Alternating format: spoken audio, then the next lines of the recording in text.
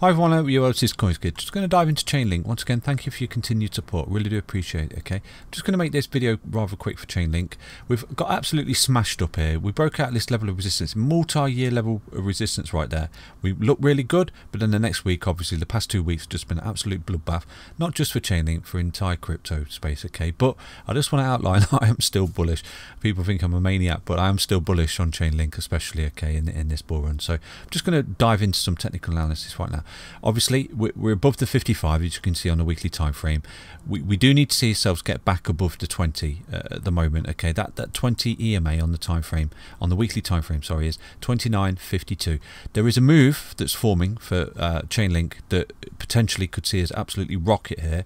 And what I'm going to do, zoom straight onto the hourly time frame to show you. Okay, and that could get us back above that 20 EMA on the weekly, and we could look in, be looking at some kind of V-shaped recovery right here for for, for Chainlink. Okay, and across the board because this pattern is forming on a lot of projects right now. Okay, straight off the bat, I don't know if you can see it on the on the hourly time frame there. You've got a lovely inverse head and shoulders that's uh, forming right now. Uh, not just for Chainlink, across the board. Okay, across the board, this is forming. It needs to you need to pay attention to it because this could be a, beautiful recovery right here for, for crypto in general. You've got the bullish cross on the hourly, you're above DMAs, you're holding support, you're coming up to a level of resistance. If you break that resistance right there for Chainlink, that's going to absolutely rocket you, okay? Because you can see that Chainlink off the bottom right now is currently up a whopping 73%, okay? At one point it recovered 82%. So it's doing really, really well. Okay, and obviously as it goes up, it's not just going to take off into space. It needs to sort of come back and hold support, which is doing re relatively well. You can see we'll come down to the 55 on the hourly time frame. We've bounced above. We're getting a nice pickup. If we break 26.95, you could be looking at a massive pump here for Chainlink. So do anticipate this off this inverse head and shoulders. And this is something we've been targeting on the channel for a few days now, not just on Crypt, uh, Chainlink, on a lot of projects. Okay, if this breaks, you're going to see fireworks across the board for crypto. And I would imagine that, that that is it. You know, you've looked at that correction, you've come down, you've bottomed out, and you reversed, and it's see you later, alligator, off to the beach. And we're looking at full recovery for crypto right here, which would be mega and instill some confidence back into the market as well, wouldn't it? Because Chainlink is really bullish. There's Arbitrum. I won't go too much in, into it at the moment, but in the, eh, over the next few days, you're going to see an update for Chainlink, and this is where you might see that propulsion, okay, for Chainlink. So do do anticipate that big move for Chainlink, and obviously with that, if it does get there, you're looking at that getting back above the 20, that V-shaped recovery, and onwards and upwards, not just for Chainlink, but for, for alts as well, and uh, crypto in general, which would be absolutely marvellous, wouldn't it? And this correction is over and done with, and this big sell-off is out the window right now. So yeah, that's Chainlink on the hourly time frame, okay? And obviously, uh, to inval invalidate this structure that it's creating right now, all you've got to do, if you if to invalidate it, is not create a lower low. Because at the moment you've got this low here for, for Chainlink.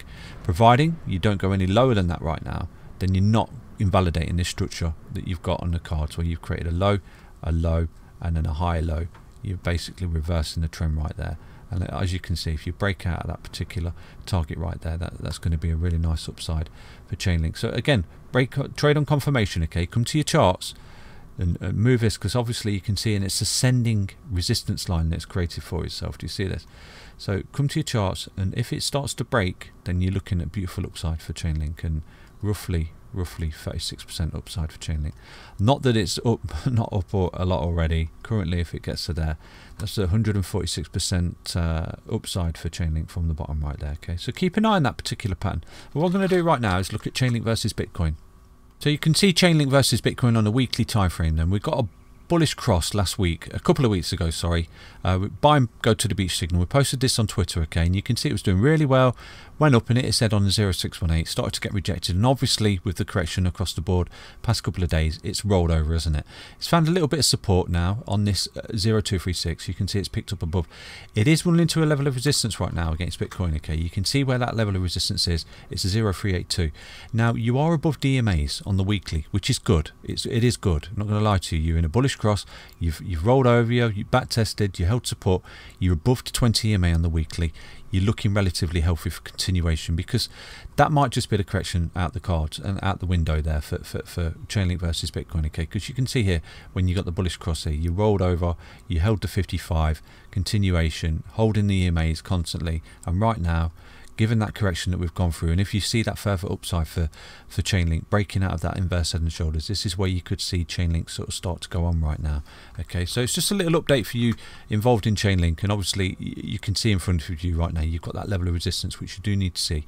Come to your weekly charts draw your trend lines okay? You can see that you broke out this um, falling wedge you came back up you broke it so you met that target right? The next target the pattern that's still in play is this. You've got to come back up to here because you've fallen out of this larger um, falling wedge. Do you see this? So right now you are sort of making progress onwards and upwards to this particular target right here because at the moment that's the pattern that's in play.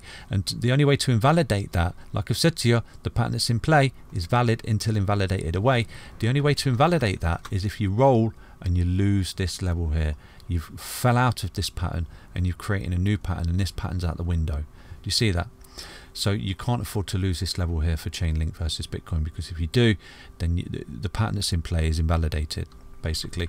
So yeah, it's looking good. It's looking relatively good. It's had a nice bit of a pickup here for Chainlink, um, but obviously you're not going to get there overnight. You're going to run into levels of resistance.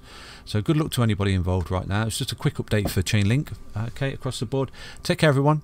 I'll be back soon. Stay safe, stay healthy, stay strong, and stay tuned. And uh, I'll be back soon. Bye bye.